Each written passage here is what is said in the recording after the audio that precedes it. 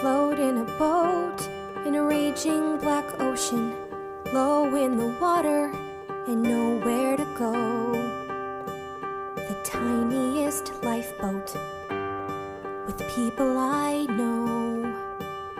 Cold, clammy, and crowded, the people smell desperate, will sink any minute, so someone must go. The tiniest lifeboat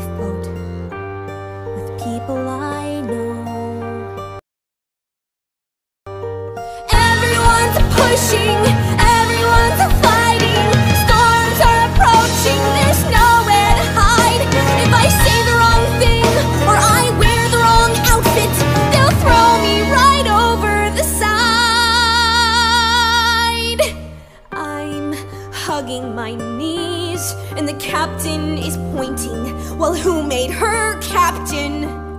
Still, the weakest must go